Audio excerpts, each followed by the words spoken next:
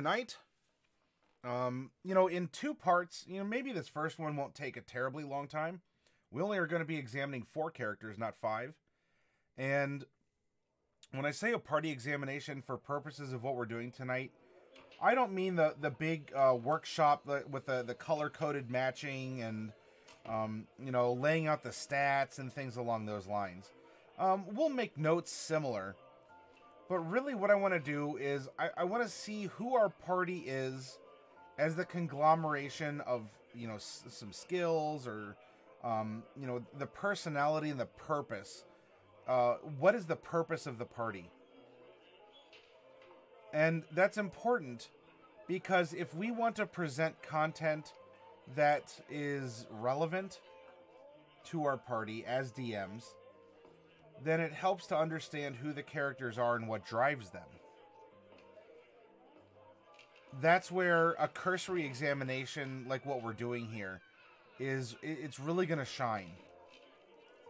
And then in our next part, I'm going to open up MS Paint. You know what we're going to do? we're going to kind of do a little, you know, fly by the seat of our pants dungeon craft.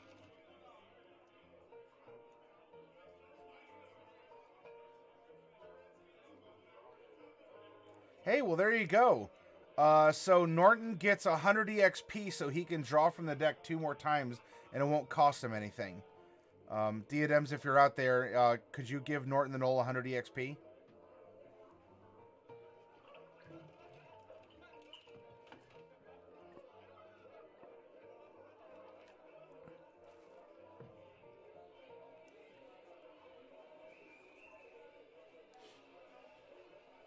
Right, so here's uh here's our four characters. You know what?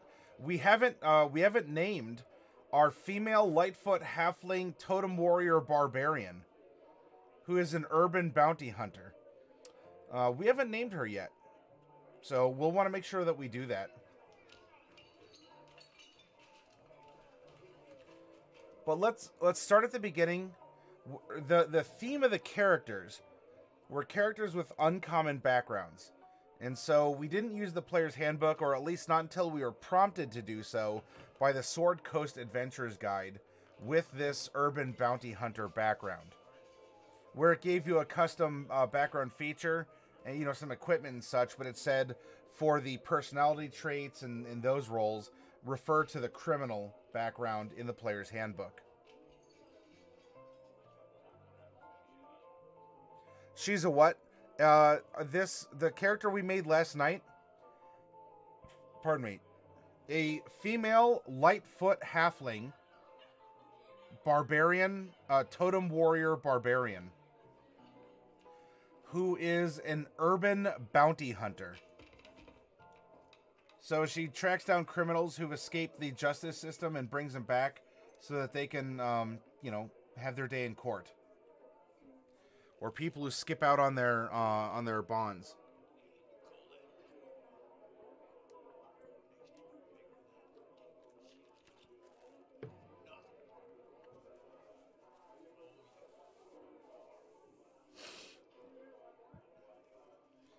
Uh, hunting, but maybe with a different purpose, Norton. So I don't think she's necessarily going to be competition for you. Diadems is saying yes. By the way, Diadems is sitting pretty as the uh, as the the stream boss. What a mighty throne it is, too. So let's go back to uh, Zavadoth here. He was the first character we made. Um, a human Fey Tome Warlock and he had the Haunted One background. The Haunted One background is out of Curse of Strahd, and it's just that. Something tragic happened in your past that leaves you uh, kind of like a monster hunter. Like, you know, you have this this shadow of your past that continually chases you and and haunts you and and you know even makes you a little cuckoo for cocoa puffs. Um, what sent Zavadoth down this path is that a creature of some kind or a person killed everyone in his group except him. And so his haunted one is like his aspect is a manifestation of survivor's guilt in some way.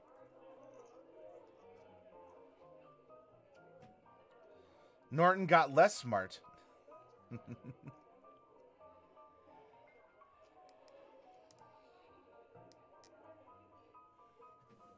but hey, because you can draw one more card, uh, you get 50 more experience points, so you can draw a card for free, quote unquote. Oh.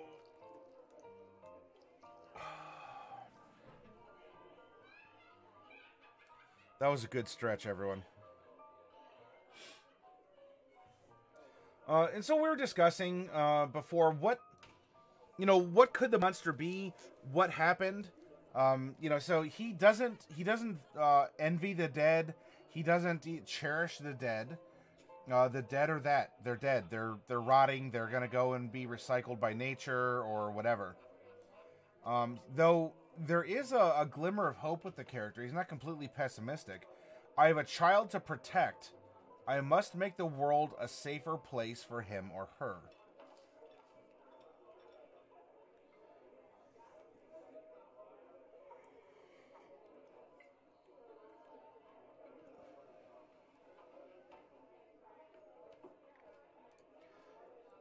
After this, we have our female rock gnome College of Lore bard archaeologist. Who wears a, she wears and is known for a uh, a very fancy medallion around her neck that she found somewhere, and it's since become her her calling card. Um, you know, something her great work, her great project. Um, she's rather antisocial. I mean, as a bard, she has a high charisma, but she doesn't really choose to use it. Um, and so she loves digging around in the dirt and going down trapped corridors and all of this other stuff um, more than interacting with others.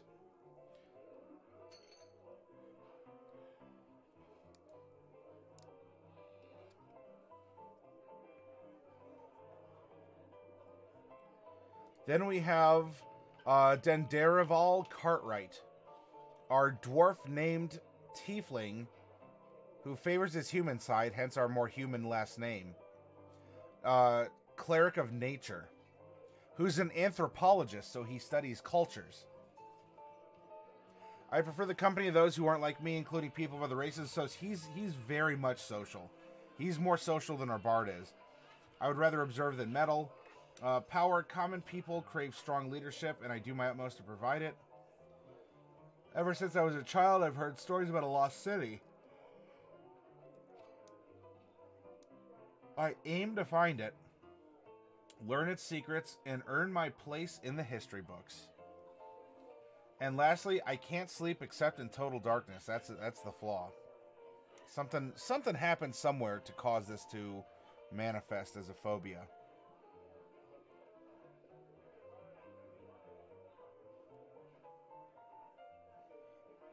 That deck pull isn't going to go well for the tavern folks. Starts tossing bottles at patrons. Why? What did you shift from and what did you shift to?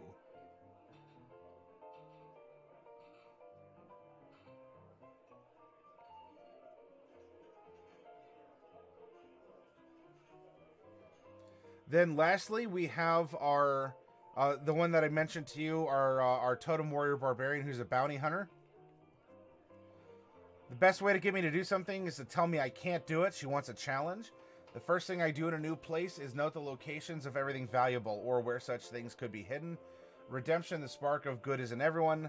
Someone I love died because of a mistake I made that will never happen again. And if there's a plan, I'll forget it. If I don't forget it, I'll ignore it. So she's the fly by the seat of her pants style.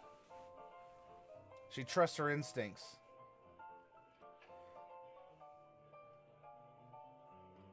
Hey, Fluffy, welcome. Ah, True Good. Well, I don't know if I, I don't know if Dark Wolf was True Good. True Good is its own it's its own alignment. yep. Uh, hey, uh, and so Fluffy Sheep, we have uh, Norton the Gnoll back with us. Isn't that nice?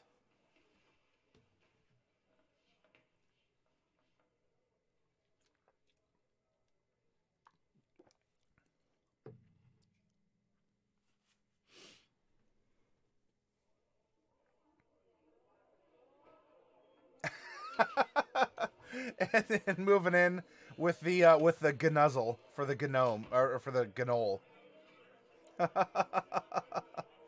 oh gosh, I love it. I love it.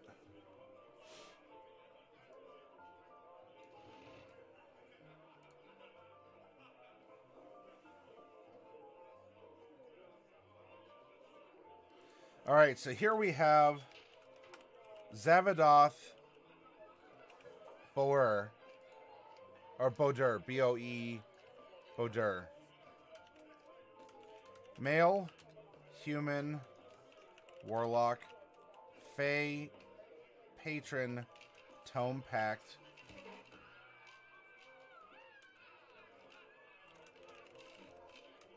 Haunted one. Of the options, that was number one, which is the Survivor's Guild. Neutral, evil, male, human, warlock.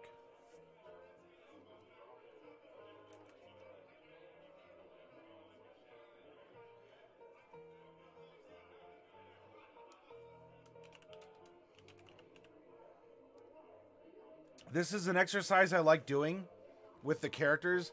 If you can summarize who they are currently into a fun fact or a couple fun facts in a sentence or two, what would they be? And not all the facts are fun, by the way. If you want to call it something else, I totally understand. So, our fun fact for this character, in fact, let me make this a little bit bigger.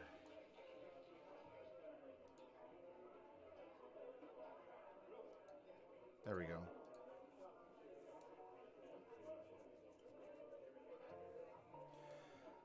Uh, let so let's make something that was left alive by an enemy of his patron who pressed him into uh let's see roll percentile. 97 uh, so normally it'd be a multi-class, but if we just go 50-50, how we normally do, uh, then it would be 1 to 50 is female, 51 to 100 would be uh, would be male. Was left alive by an enemy of his patron who pressed him into his service in order to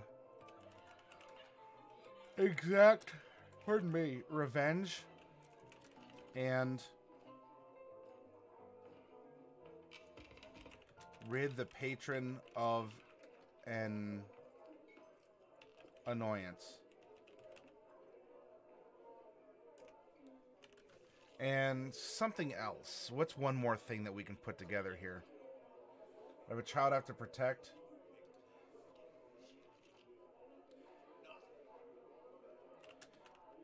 Is a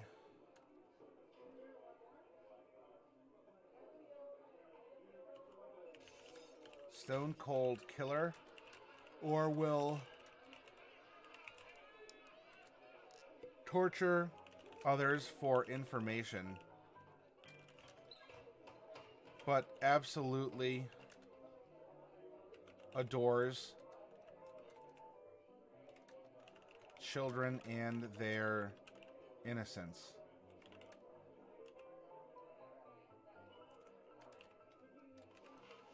Quote, do as I say, not as I do.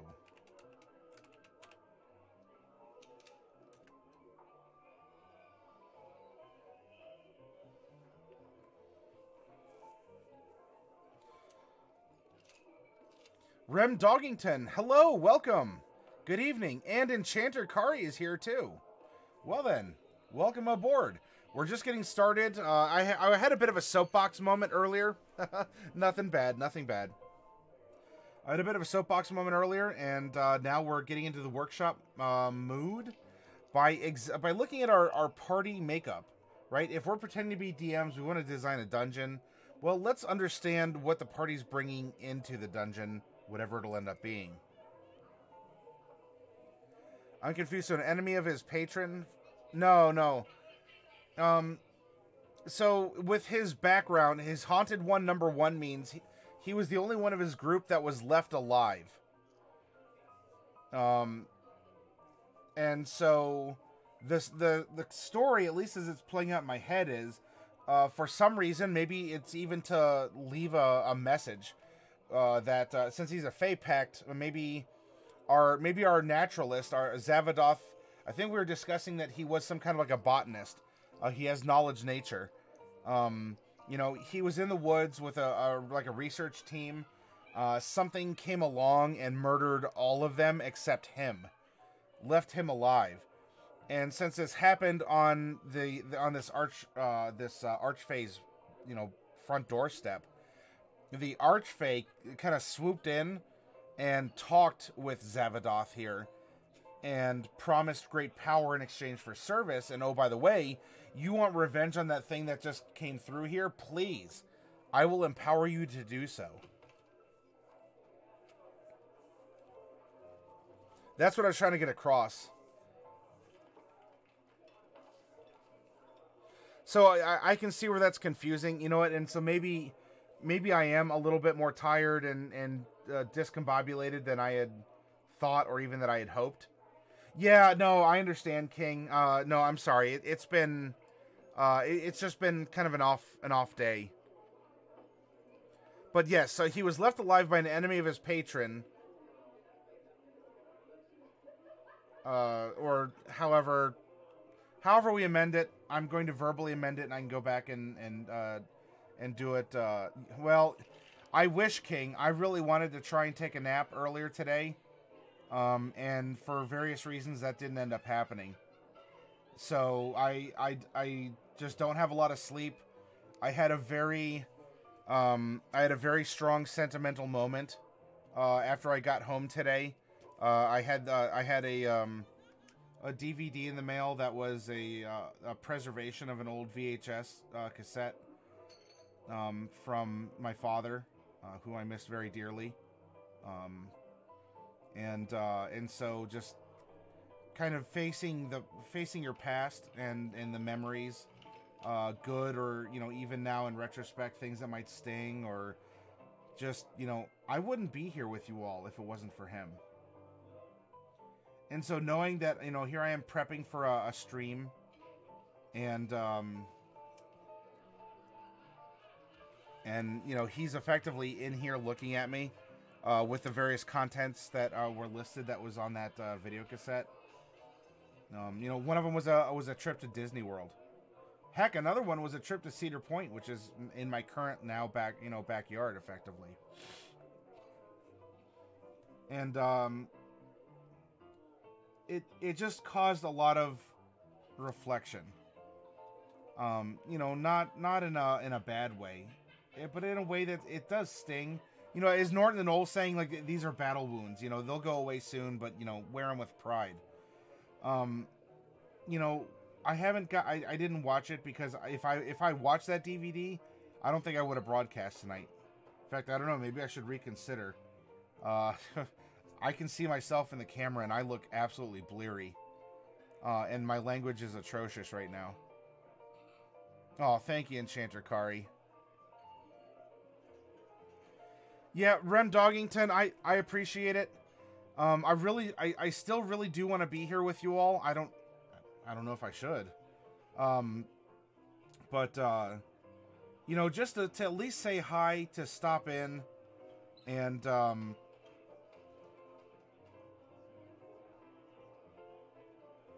I'm getting Mike Myers was the character I was trying to think of with his uh, with his character uh, from Saturday Night Live, the uh, who hosted the the coffee talk. you know where you like I'm getting all of the clap. Talk amongst yourselves. I'll give you a topic. The uh, internal combustion engine is neither internal nor combustion. Hey, Trust a Flump, welcome.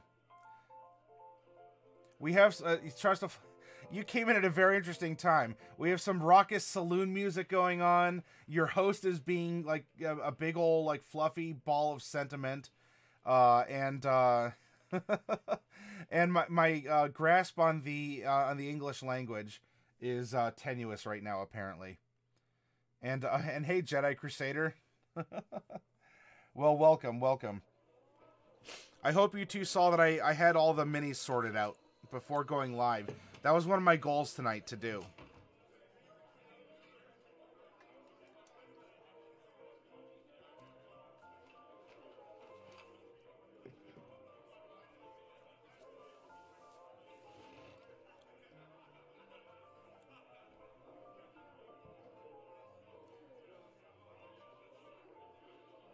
Here's my computer's power supply. Oh no. I Feel like I've let someone down big time who went out of their way to include me. Oh no.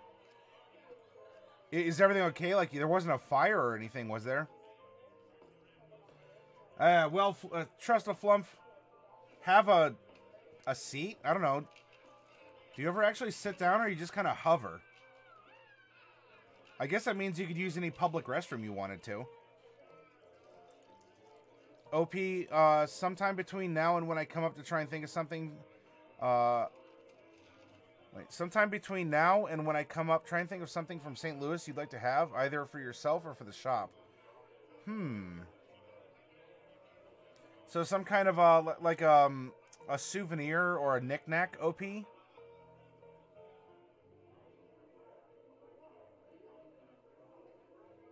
Flumps cannot sit, says King. A fl flump is a verb, and it is the only thing flumps can do. So they can flump a seat, but they can't sit. no, no fire, but I've only just now managed to procure a temporary replacement. I missed the game entirely. Uh, well, hopefully you were able to, uh, to send out, you know, communiques to uh, your DM uh, and or fellow players. And, uh, you know, look, these things happen. Um, I know how much you want to play D&D. I mean, I can't suspect that you just wanted to bail. Um, so I, I'm sorry to hear that happen, Jedi.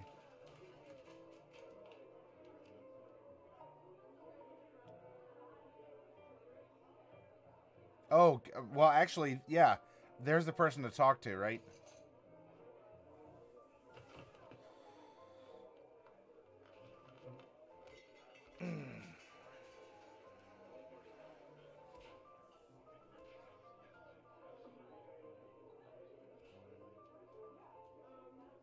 All right, souvenir knickknack. Uh, I will. Um, I will. Uh, I'll see if there's anything down that way. That uh, that would be really fun. Maybe uh, maybe something I can end up using on the channel here. Thank you for offering. Uh, also, OP. I, I greatly appreciate that.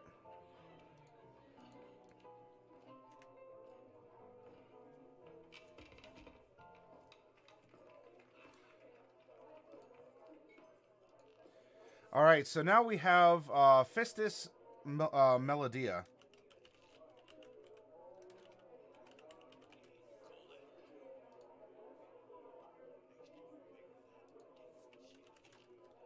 Lawful Good, Female, Rock Gnome, Bard, College of Lore. Archaeologist whose signature like item is an uh, an amulet or a, a, pendant of some kind. That's no, that's what number five is. So now let's give her a fun fact or two. I hope to bring prestige to a museum. So this bond is manifesting something in the world. Um, she is greedy, but you know, so she ultimately does. Uh, you know, she'll help society out, but she wants to make sure that, that things are done formally and, you know, that are taken care of for her work. I'm happier in a dusty old uh, tomb than I am in the centers of civilization. Traps don't make me nervous. Idiots who trigger traps make me nervous. I have no time for friends or family. I spend every waking moment thinking about and preparing for my next expedition. So how about something like this? Um, she is one of Let's find out.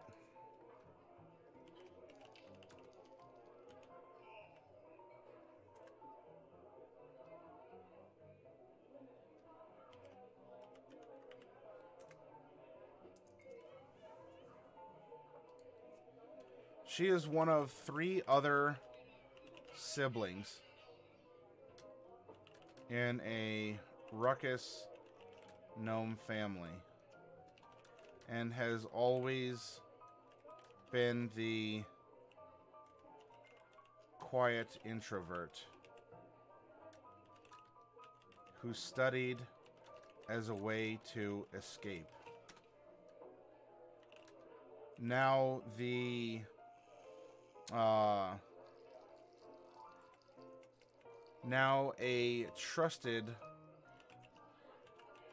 procurer of antiquities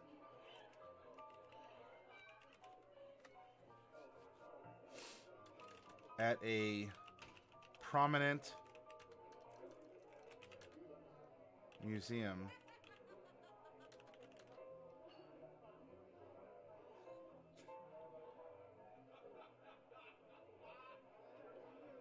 She is expecting much fame and fortune from this current adventure.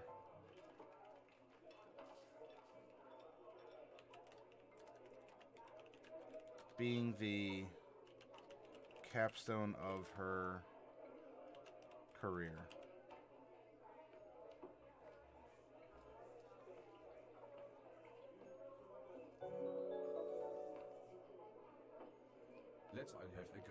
Of our day and. Hey, hopefully you can get that. Uh, uh, hopefully you can get that piece. So you want to do a first dibs in uh, Storm King Thunder? We can certainly do that. Uh, uh, Fluffy Sheep says you can only eat the least interesting memories.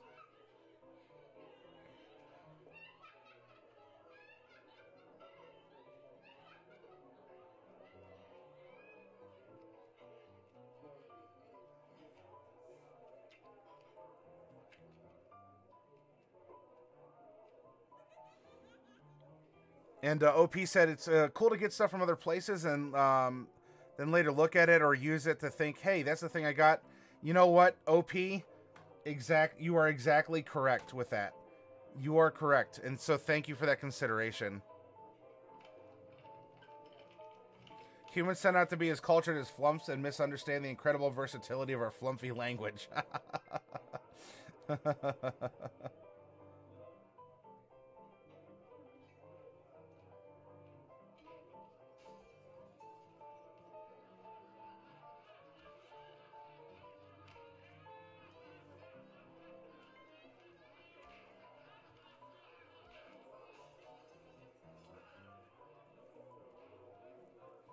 Fluffy says my party just spent a decade lost in the Feywild.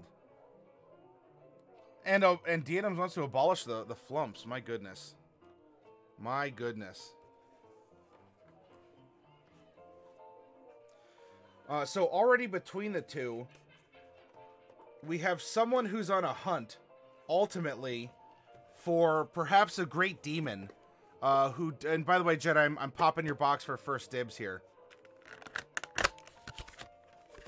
Wiggles in horror, says Trust Flump. and now we have uh, we have our gnome here, who who her career actually has been made around a uh, around a, a pendant. And you know what I'm thinking? That so far this dungeon, right? Is if we want to extract information for the dungeon, the dungeon can help uh, give a clue or lead to the path of this fiend that uh, savaged Zavadoth. Well, really specifically his friends, uh, as they were on sort of a, a botany adventure out in the uh, out in the woods. Uh, that happened to be the you know the uh, the back lawn for uh, this archfey. And Phistice is in this because maybe these ruins that were recently discovered match up or provide some relevance to this medallion that is her signature. Like she found this, uh, she she found this somewhere. Maybe she uh, caught it like on the cheap in a in a market. Someone was just trying to sell it for a piece of junk jewelry, but she recognized its true value. And now here, maybe that's what leads the party to the dungeon, or even helps them get through the dungeon.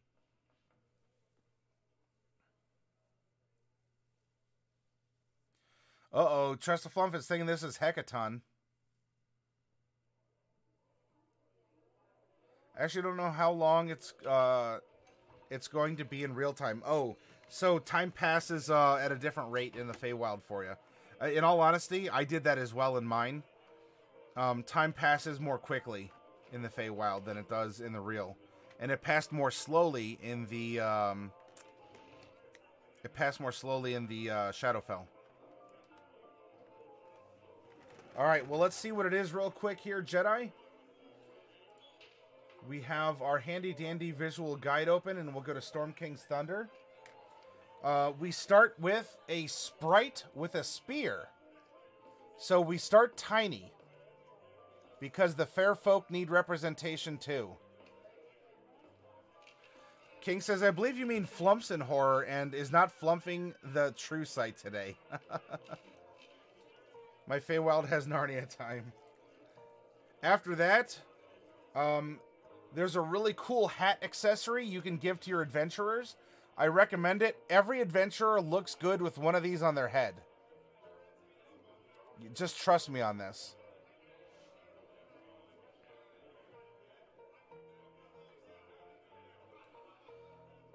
Next up, in the uncommons, we have a Githzerai monk dual wielding daggers.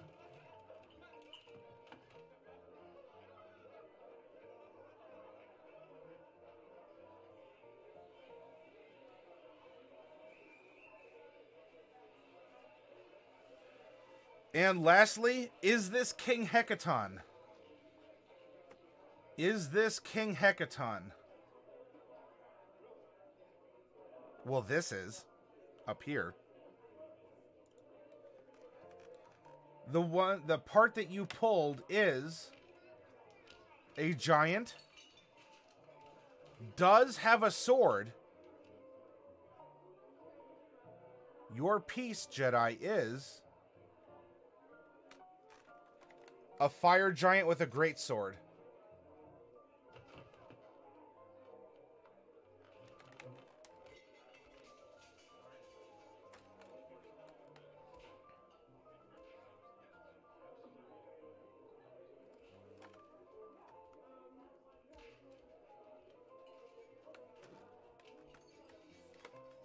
Which piece would you like to keep, Jedi?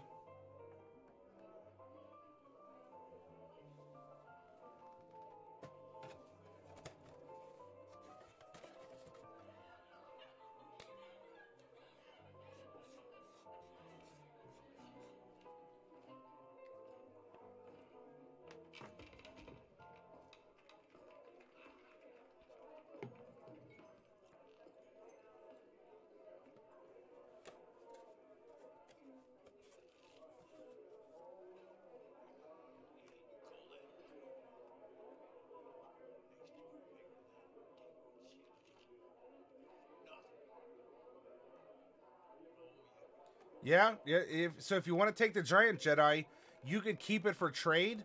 You know, having a couple different fire giants could be a you know could be good. Tresta Flump does uh, Flump True.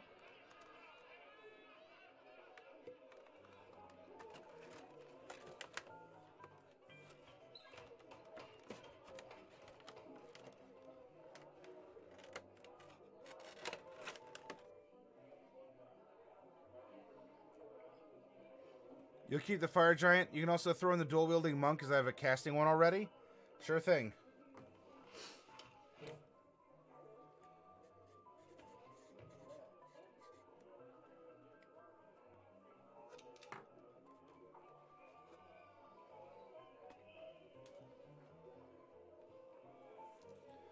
And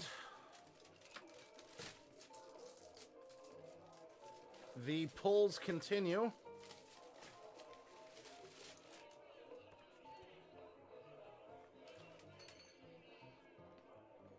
There we go. We're back up to two.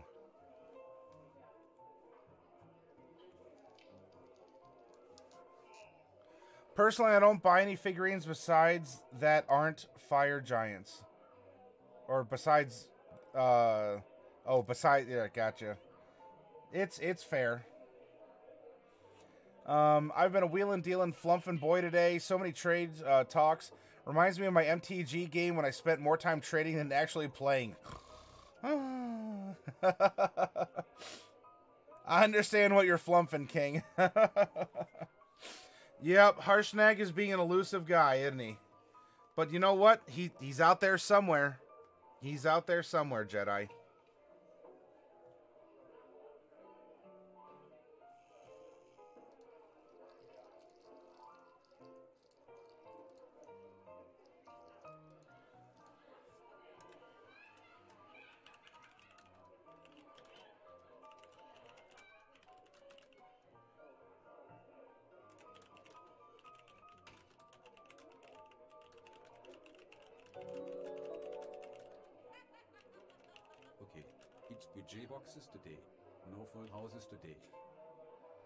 Okay. So for 12, I, I presume you want to go first dibs on the uh, on the Storm King's Thunder. Uh, her amulet, her signature amulet. One SKT, yes sirree. Is a literal or metaphorical key to the ruins.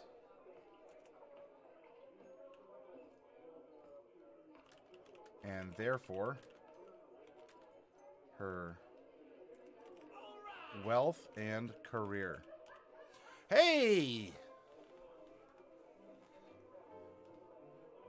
Well then.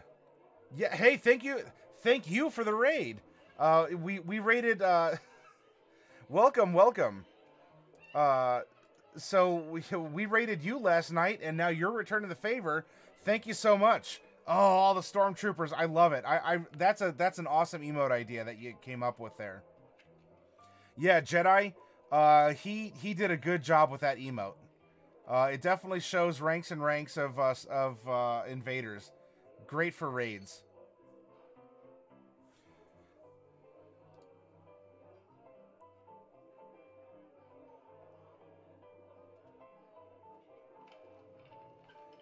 Oh shoot! I where's my uh? There we go. Oh woo!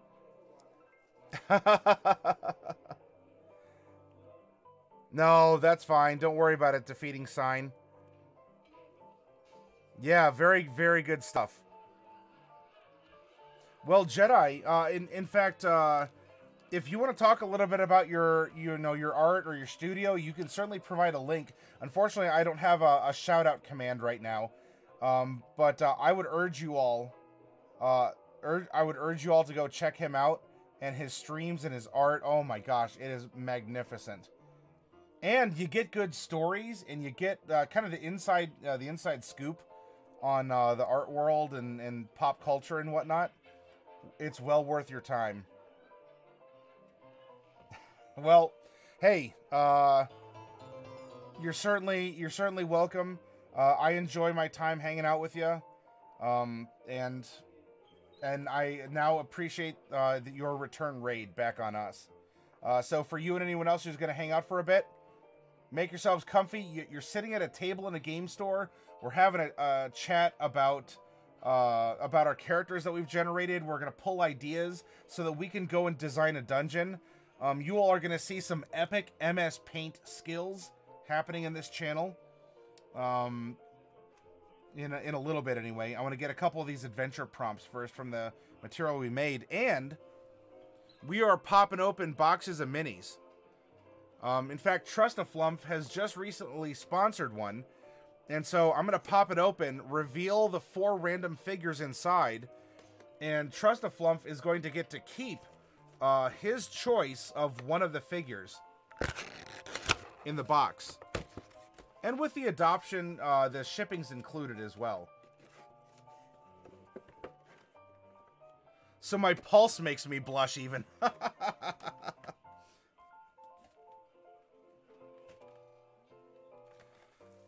Us pale folk have to stick together.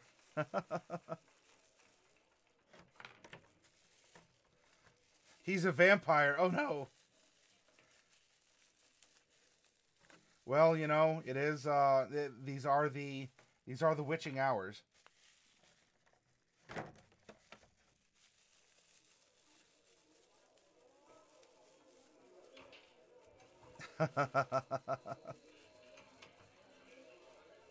and yeah, that that cute owlbear. Oh my gosh, Rem Doggington. That that cute owlbear every time that gets me. Can flumps become vampires? I guess they'd be uh, like mind drinker vampires from Ravnica, right? So in that sense, because your natural diet, you're already an emotional vampire.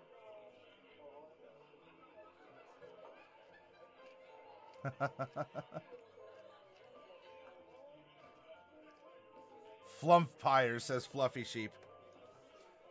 All right, Mr. Flump, if that is your real name.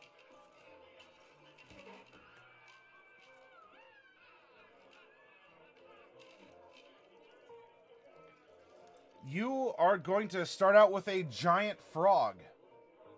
And apparently it has active camo, so how about that? An extra feature included at no cost.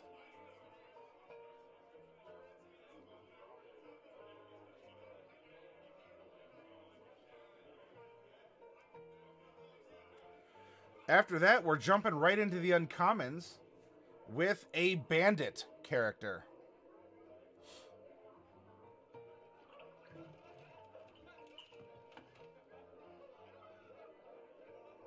They are friendos, yes.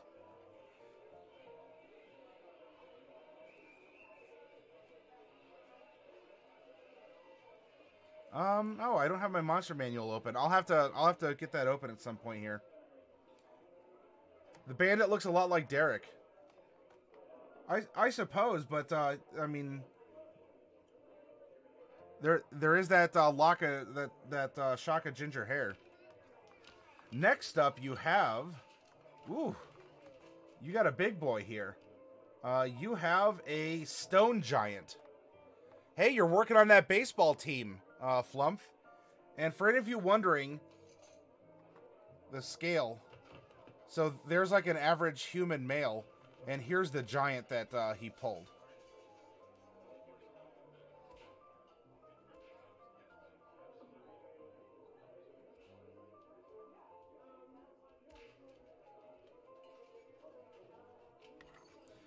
Or lastly, uh, Flump, you have an ultra rare figure in this box.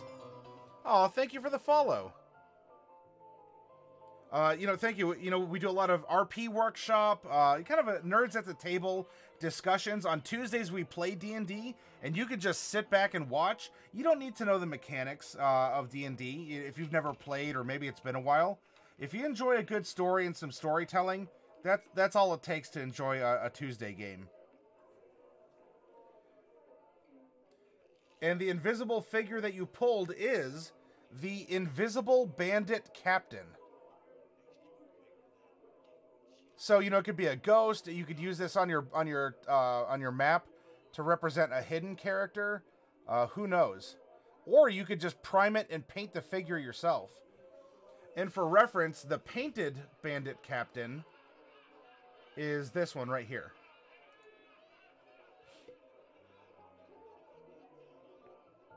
You never played D&D. Well, uh, so Booply Quinn, D&D is a storytelling game.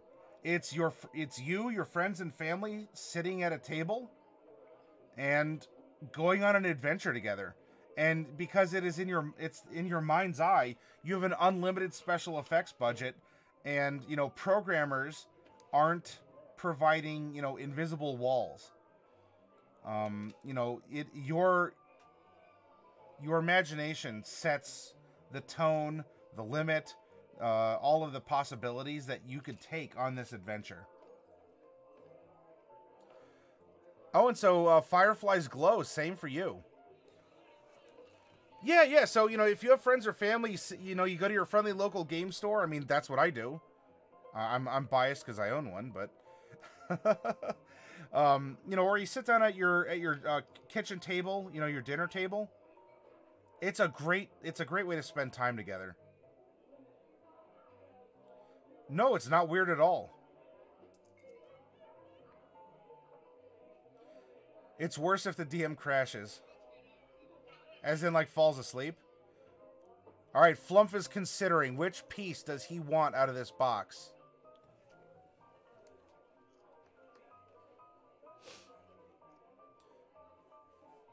All right, you want to go Gigante. Then, oh, hey, here's a little art. I'm not an artist per se, but uh, here's here's a rendition of a flumph.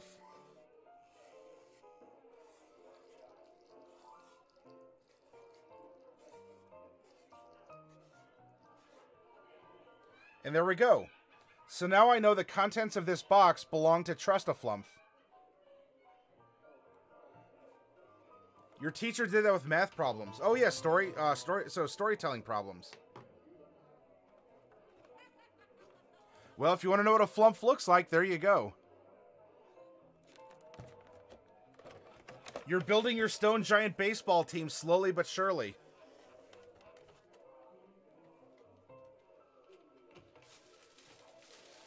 And with that, the cycle continues. Oh, well, thank you, Fireflies. And hey, you know what? I'm not an artist, and I'll tell you, uh, because I'm not, but also because I believe in doing business with those who do business with me, I have been able to commission artists in our community to come up with all kinds of uh, great art assets. Uh, in fact, the uh, the BTTV emotes we have on our channel uh, were created by Coffee Cat Comics. Uh, is Tricey still in here? I I I see Tricey, uh, but all of these, all of these emotes, uh, were made by Coffee Cat Comics, and uh, and Coffee Cat has been a, a part of the community for a while now. And you know what? When it came time to start making emotes, I gave him some business. I'm the opposite of an artist. So what you like consume idea? Uh, I guess that's a flump, isn't it? You like and so instead of producing ideas, you consume ideas, fluffy sheep.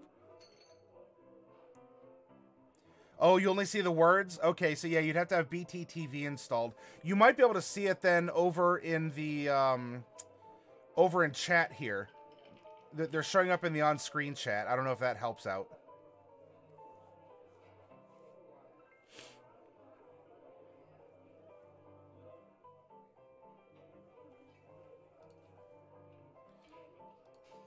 Um, so, all right. So, for those of you who, uh, you know, you say that you haven't played D and D or another role playing game, helps a little.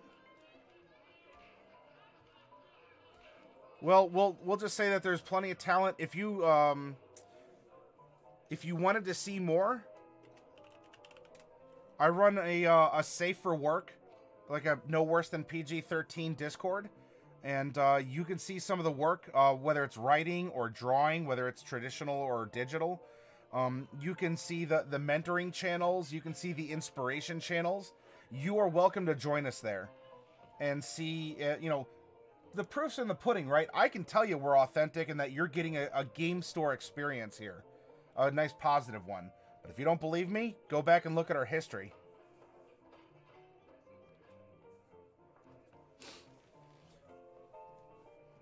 And uh, and so you know when I, when I have these uh, character sheets on screen, there's a lot of numbers, and you might say, okay, what what is an arcana?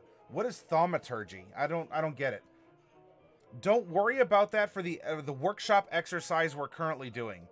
Right now, I'm taking a look at the notes of the personalities of each of the characters we've generated, so that we can find we can find commonality between them why would they want to work together? And what would lead them to this uh, this dungeon ruin that we're going to be building in the in the next part of the stream, whenever that will end up being? You have wooden dice even defeating sign. Are they, you know, are they like standard size or are they sort of like the big novelty ones for decoration?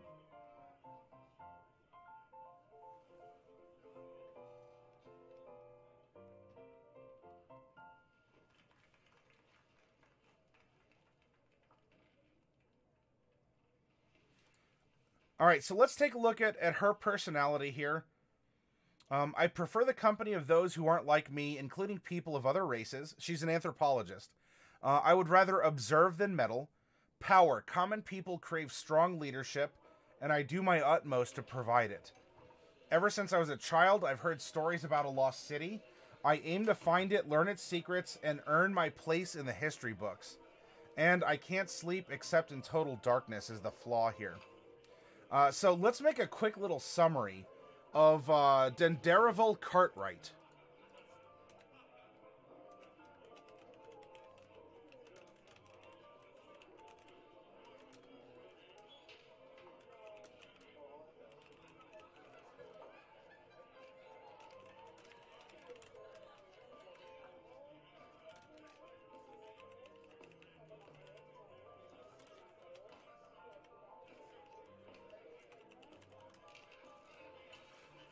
Now, uh, here is a tiefling, meaning um, a human, or at least born of a human bloodline, that has been intermixed with fiends, you know, uh, uh, uh, devils or demons. And so a tiefling is the result. Uh, tieflings are humanoids, about standard human uh, shape and size, though they have tails and horns, and often don't have pupils to their eyes. And they'll also have skin tones like uh, um, dark violets or vivid reds or rust, that kind of a thing. Um, now, as we generated this character, he is 75 years old. And th- that means that this is this is probably going to be his last adventure. Is he going to sit at home on a rocking chair and just let the end come? Or is he going to get out there and find clues about his people? And as we've explored through examining the personalities of the other characters that were summarized in these fun facts, um, he might even have come along. Fun fact uh, he found evidence that his family is descended from oop, from the demon that attacked and slew Zavadoth's friends. This is his last hurrah, one way or another. And he wants to know where he came from before he discovers where he'll go in the afterlife. He is a cleric of the nature domain. So, not a druid, not necessarily steeped as an extension of nature, but someone who draws, uh, you know, formal blessings from nature. Um, someone who respects nature uh, in in a more of a divine sense than an uh, existential sense. I don't know if I'm if I'm kind of painting the difference between clerics of nature and druids. Uh, in that Venn diagram, they do overlap. I guess one one reveres nature, and that's the cleric. One is an aspect of nature, and that's the druid. As a druid can turn into animals and all, all sorts of other fun stuff. Uh, they're on your shelf, said defeating. Um, standard red paint. Looks plastic because it's coated. Uh, has black ash fade uh, to it. That sounds really cool, defeating sign. Gotta go to bed. Defeating sign. Hey, thank you for coming on, uh, over in the raid. Thank you for talking and sharing uh, your, you know, that, that story. I'm kind. I've, I've been having fun imagining, uh, you know, like a, a like an oversized uh, set of dice made of wood painted red that you were just talking about. Uh, he's obviously going to heroically sacrifice himself, possibly, and that could be part of the fun in storytelling. You might have the other players at your table as a DM, right? So as a DM, we're, we're producing this, and they're gonna, and you know, they might look and say, "Oh, well, you know, the whoever's piloting this character, well, he and the DM obviously talked, and he's just gonna throw his life away for justice." Not necessarily. In fact, building that anticipation of what will or won't happen, um, whether you talked about it with your dungeon master or not prior, can add a lot of fun tension to things.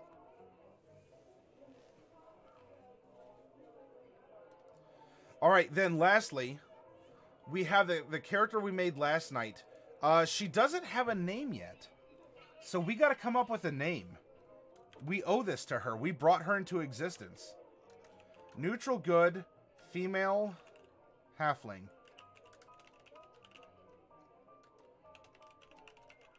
Barbarian. She's a totem warrior, meaning she she worships uh, animal spirits and draws um, you know uh, draws benefits from them, and even takes on their their mane. Not necessarily as in uh, you know like a lion's mane, like M E I N.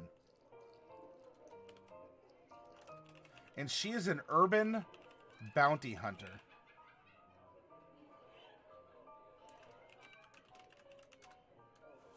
Let's take a look at her personality. The best way to get me to do something is to tell me I can't do it. And the first thing I do in a new place is note the locations of everything valuable or where such things could be hidden. Uh, her ideal is redemption. There's a spark of good in everyone. Her bond is someone I loved died because of, mis- of a mistake I made that will never happen again. And her flaw is if there's a plan, I'll forget it. If I don't forget it, I'll ignore it. It's late here, so you're gonna go. Thanks for everything. Y- yeah, hey, it, it's 1 a.m. here. I don't know what time it is for you. Uh, um, Boopley Quinn. I, I like that name. That's fun to say. Uh, it- it's sort of like saying Flump. Uh, have an awesome night. Thank you for chatting and rating. Uh, and you know what? Hopefully you, you'll come back and you'll visit us again. Jedi Crusader says Janice bite-sized barbarian.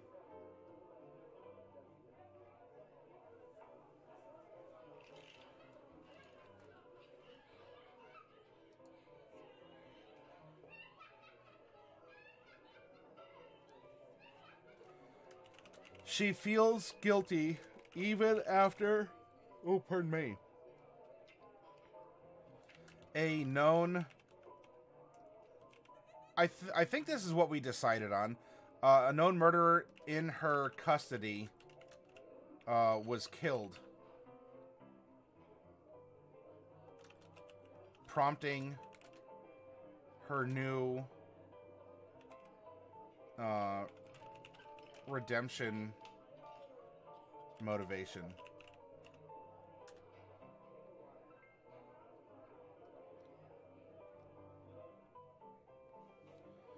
She can be easily goaded into dangerous situations um, with a simple but reasonable dare and some coin or a moral currency involved. Ivalon, welcome. Great to see you. Ivalon, you were streaming uh, Civilization a little earlier, weren't you?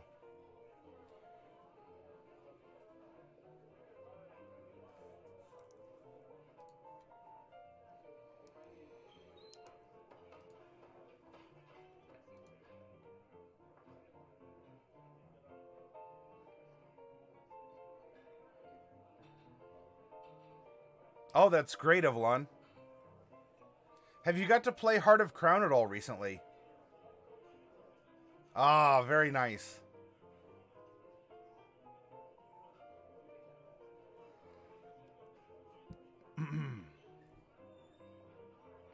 all right, so if we pull them together, alas, no, but I should. Yeah, I, would love to see. Uh, I'd love to see a stream a game of that sometime. Now, obviously, you know your heart has to be in it, especially for a game called Heart of Crown. Um, but I, I know that you really liked it.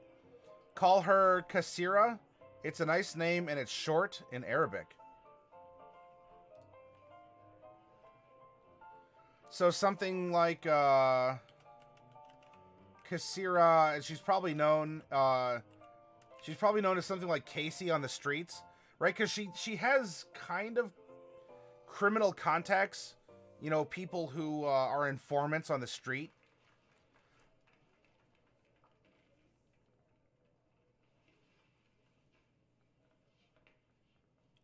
He's overrunning your your show right now with his good looks. Oh, is uh is he showing up on camera? Are you like interviewing him or something, uh Luke?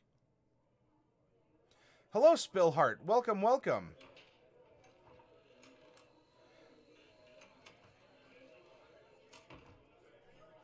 Actually, that's kind of a. Uh...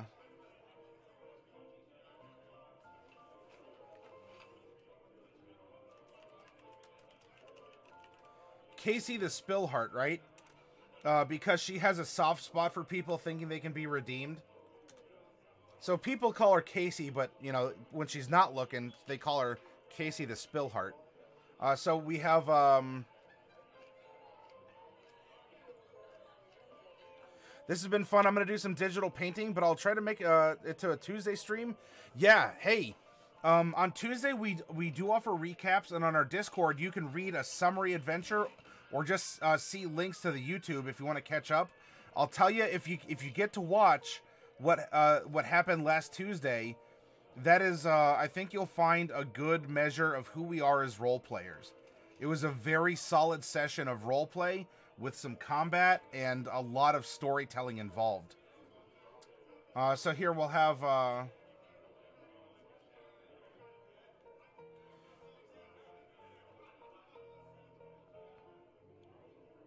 Ah, all right. So we'll call her Qasira uh, Kosklo.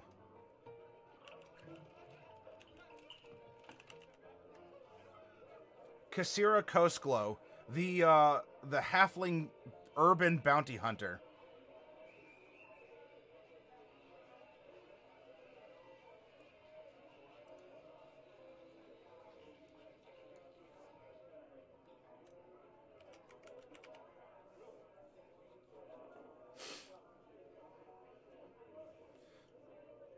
You're very welcome, Fireflies Glow.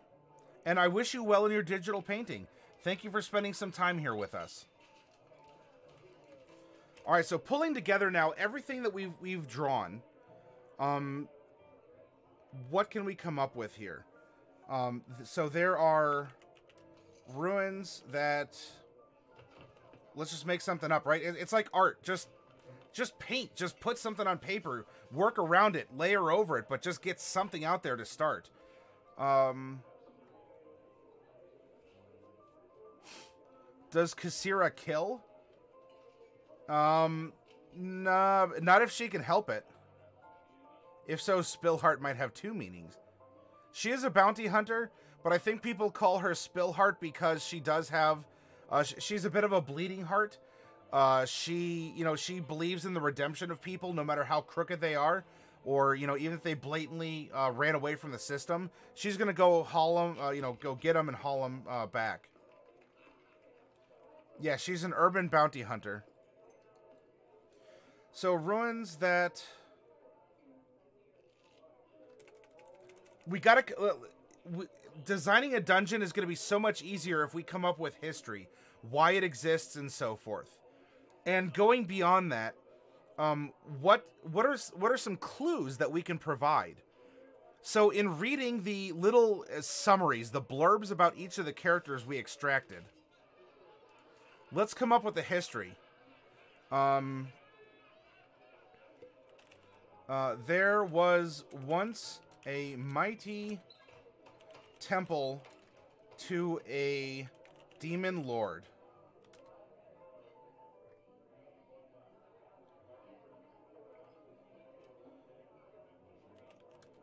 The cult that lived there would go into the nearby forest and abduct people for sacrifice. After a time, the Archfey presiding over that forest grew angry and waged war against the demon and its followers.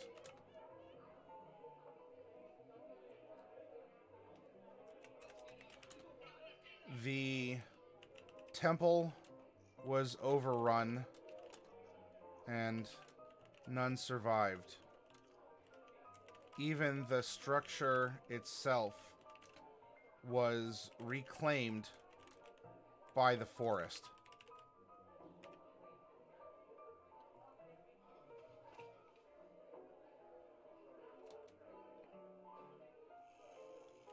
Time passed.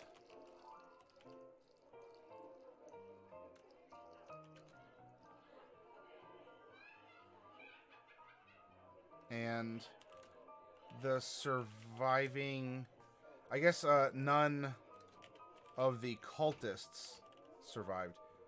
Um, time passed, and the surviving members of the humans forming the cult moved away, carrying the blood of the demon in their uh, in their veins you know, or if we want it to be a little bit more visceral in their veins and wombs, right? So it's indicating that you know they've they've had contact. That there's if you want to call it a corruption or an alteration, um, but this is now going to establish that the tiefling started because the humans who took up residence here were worshiping this demon. And, you know, some not so PG 13, uh, not so PG 13 stuff probably happened inside that temple. You can design a dungeon map without history. That is true, Evelyn.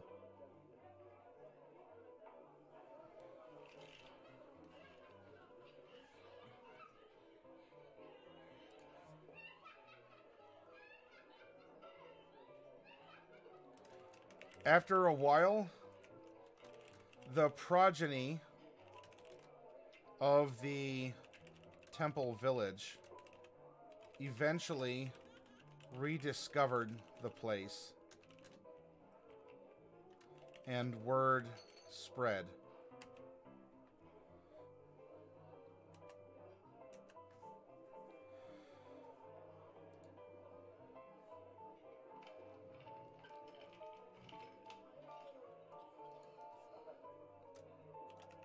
Zavadoth receives word from his patron about needing to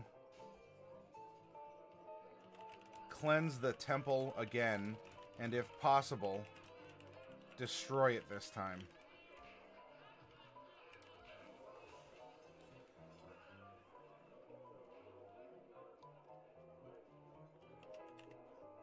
Phistice hears of the temple and can match its language and markings with her uh, found medallion that could lead into or lead past its entrance. Denderrival a descendant of the demon, far removed.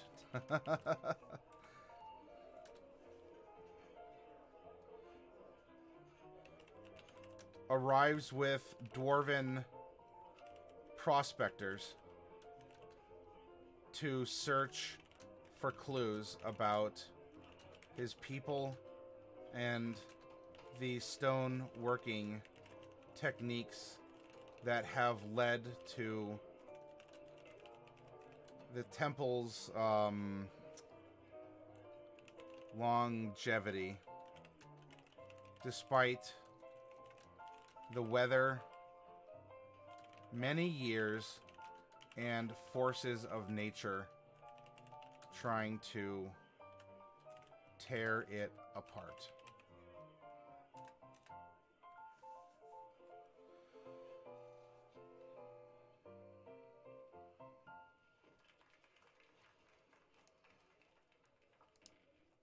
Oh, pardon me. Casey. Hmm. The best way to get me to do something is to tell me I can't do it. Casey is approached by Zavadoth.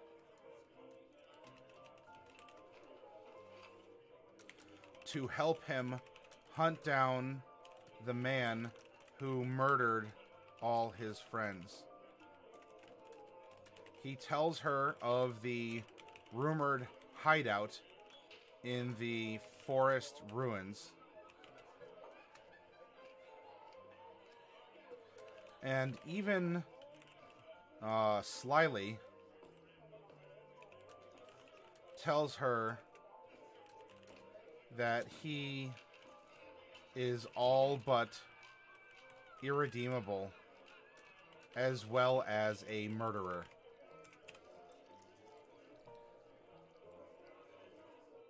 Trust a Flump, if you're really liking the name uh, Dead. Um, what was. Hey, Nemi, welcome.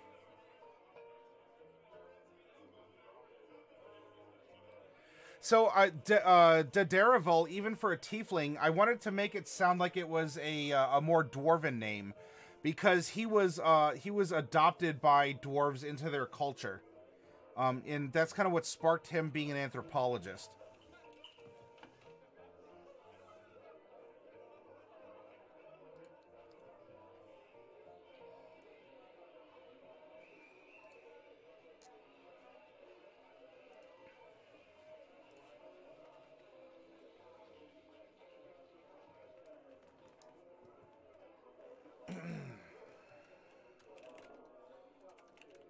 This will hook her into the adventure.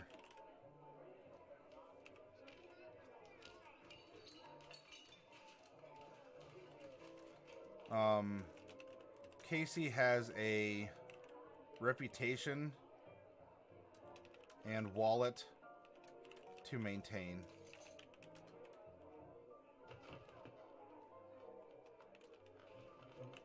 Zavadoth has a job to do.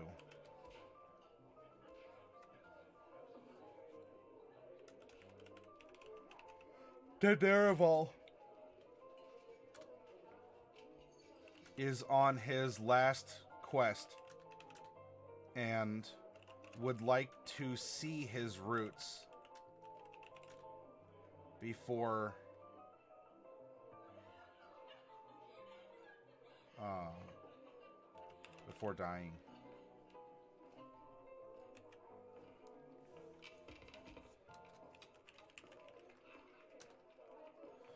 Phistice is here for personal glory and is fine getting help from others who aren't looking to share in the same things as she is.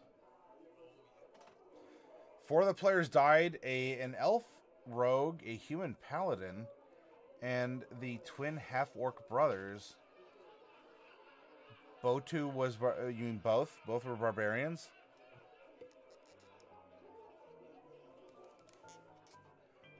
Well, what? That was a CR30 creature you threw at him, right?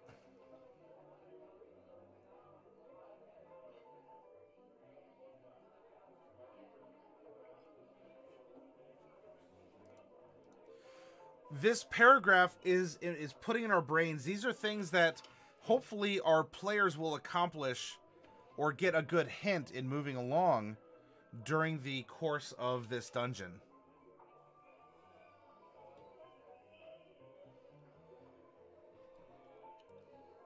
Oh, me. All right, I got to get up and stretch. Everyone, let's take a 10 minute break. And when we come back, let's do some planning in MS Paint, and we can continue in Word also.